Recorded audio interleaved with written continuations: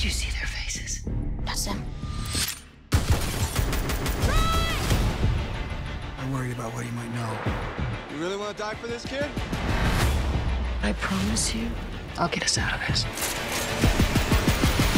Take a deep breath. Hold it. and lay back.